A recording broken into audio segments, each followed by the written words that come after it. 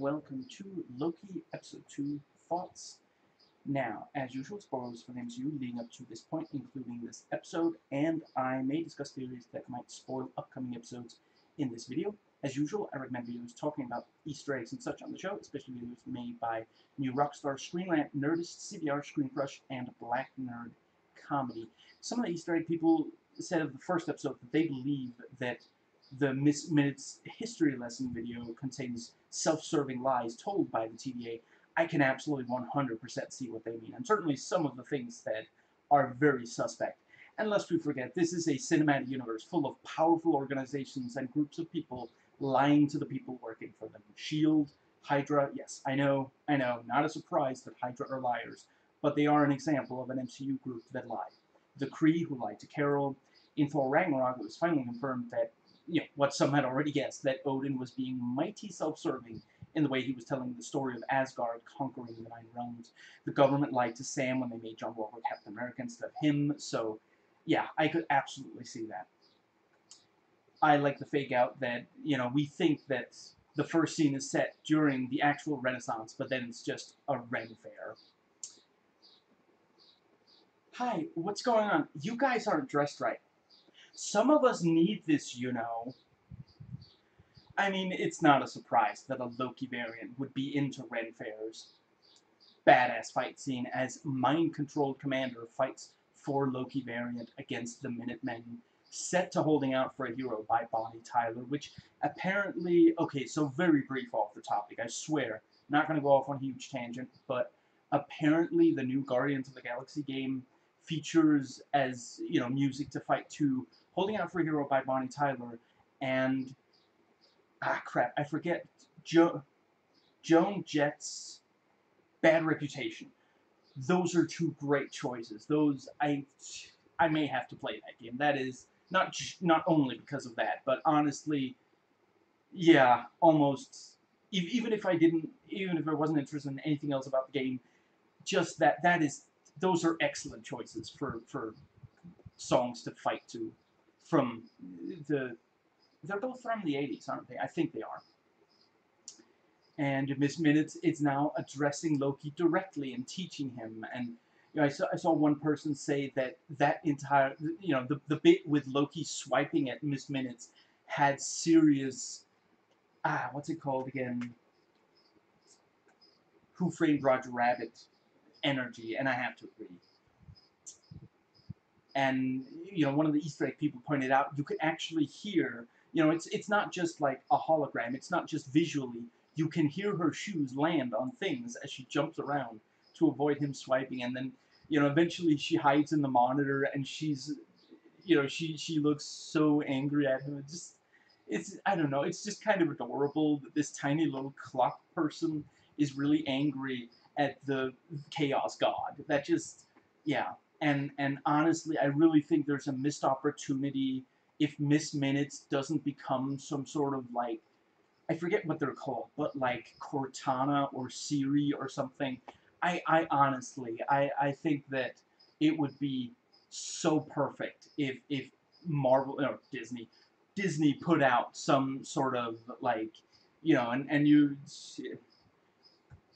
Miss Minutes, pizza places nearby, Sure thing, sugar. I found several. You know, just yeah. I I I don't think I need to draw you a picture or animate a talking clock here.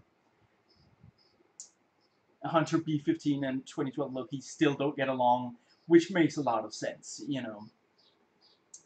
I really like that we see several Loki var variants as holograms, and 2012 Loki explains the difference in, po in powers I mean, Owen Wilson did say in an interview that at least some of the Loki lectures made it into the show.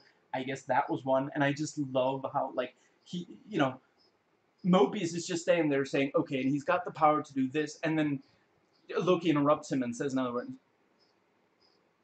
What? And and he's just, you know, and everyone quiets as Loki explains it, and they're all just standing there. Is, is this guy for real? Is he serious right now? Just an audience with the timekeepers is on the table. Keep that focus. Why don't you just travel back to before the timekeepers arrive? I really appreciate that they acknowledge that, and the explanation makes sense. I see a scheme, and in that scheme, I see myself. He starts earning his keep. What Loki says does make a lot of sense. This is trap. He's waiting for you outside the set. We have to speak with the timekeepers immediately, and you overplayed your hand. And I like the relationship between uh, Judge Renslayer and Mobius. And you know, one of these Easter people suggested that the you know Mobius says, "Oh, I don't remember this," and she's like, "You're not the only." I, I forget what the timekeeper maybe. You're not the only timekeeper I have working for me, or something like that. And some of the Easter egg people have suggested, you know, maybe let's see, did they think that might be Kang, or just someone working for Kang? I forget. It's really funny when Loki is running behind Mobius, trying desperately to make his case, and Moby is not like dude, it's done. I'm not, I don't believe you anymore, you know. And Mobius says either he feels bad for Loki, the runt left to, you know, die out in the cold, or maybe he does, maybe he's just that determined to, to catch this guy, or Lady Loki, now that we know. I, I like how Loki keeps asking the, the library, and, you know, of course they had to do, even even in the the you know technically they're they're out they're the TVA exists outside of time and space, and they have technology from all over the timeline, you know, past and future, not only present, but they still have librarians that shush you if you if you're too loud. And and Loki turns around and shushes her. And you know, he goes up and he asks, "Can I see the file on this and this and this?" And every you know, just those are classified well, what can I get the file on? And he gets the file on Loki, so yeah. And he just utterly ruins Mobius' sound. He says afterwards that, okay, maybe it was a slightly clumsy metaphor. I'm pretty sure he just wanted to screw with his lunch. He's hiding in a apocalypses. Makes a lot of sense. You don't trust me? You can trust one thing. I love to be right, and that convinces Mobius.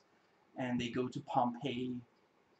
I think the Latin Loki speaks is accurate. Well, nobody speaks Latin. It's a dead language. You can't speak it. You can read it. And Mobius accepts Loki's theory. I'm, I'm really glad. Like, this is the kind of, you know, this is, this is like, what's, what's that saying? The essence of meetings that could have been an email? Like, they didn't have to go to Pompeii. They didn't have to show us that you know, that was like, that's, that cost money, that took time. They had to get costumes, a location, uh, uh, what's it called, props, all this stuff. You know, some, some, some, you know, some, some of the, some of the FX people had to spend hours working on this distant image of the volcano eruption. But it's such a fun scene. Like, just Loki, you know, he's like, nothing matters. And, and he releases all these goats. Run free, my horned friends. I mean, I guess he does feel some sympathy for other horned, yeah. And Mobius loves jet skis, but he hasn't been on one. Several of the Easter egg people said, independently of each other, that by the end of this miniseries, we really do need to have seen at the very least, Mobius on a jet ski, maybe both Mobius and Loki on jet ski, on a jet ski. And Mobius gets out the kablooey and they talk about, do you have candy on Asgard? Grapes, nuts. No wonder you're so bitter. Indeed. I mean, I hope they at least have like macadamia or you know something exciting. Now,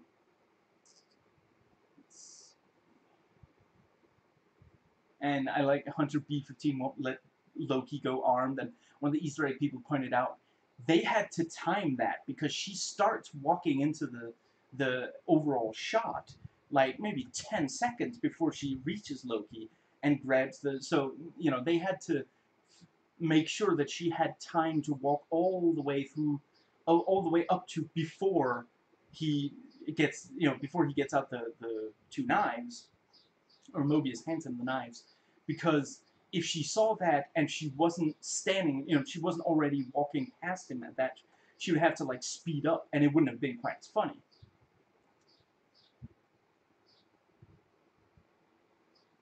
Twenty fifty looks about as apocalyptic as we expected to be in real life. And Mobius and Hunter B-15 essentially argue over jurisdiction.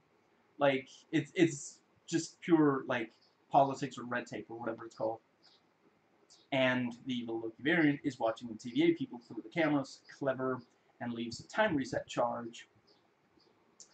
And, you know, at, at the time I wasn't sure if that was to, like, defeat the Minutemen. I mean, do we know what it does to people that it touches? Does it... I mean, I mean living people. We've seen it remove dead people. I'm not entirely sure we, we do know. Anyway, the, the um, yeah, either they'll be defeated or they'll have nothing to go on.